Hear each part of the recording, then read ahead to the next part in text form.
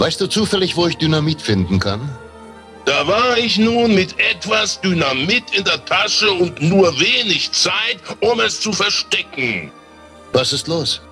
Ich lief nach links, doch da kamen die Krieger. Ich wandte mich nach rechts, doch da kam Feran persönlich auf mich zu.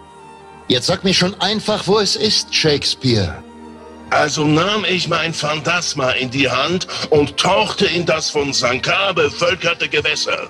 Durch das trübe Wasser sah ich in der Ferne einen riesigen Schatten lauern. War es ein großes Raubtier, das versuchte, mich zu fressen? Hey, James Bond, hier drüben! Ich habe meine Luft so lange angehalten, dass es mir wie ein ganzer Mond vorkam. Mit dem einen Arm wehrte ich Sankar ab und im anderen hielt ich die wertvolle Fracht. Ich ergriff die Gelegenheit und schwamm direkt auf den großen Schatten zu, ohne die geringste Furcht um mein eigenes Phantasma. Wie stellt man den Kerl ab? Meine Finger wurden langsam taub und die Sicht wurde schlechter. Doch ich schwamm weiter, meiner scheinbar unumgänglichen Umkehrung entgegen. Und dann sah ich es. Der Schatten war ein versunkenes Boot, dasselbe mit dem Koax auf dem See patrouillierte, bis ein unbeschreiblich wagemutiger Talaner es versenkte. Oh Mann, was würde ich für eine Werbepause geben?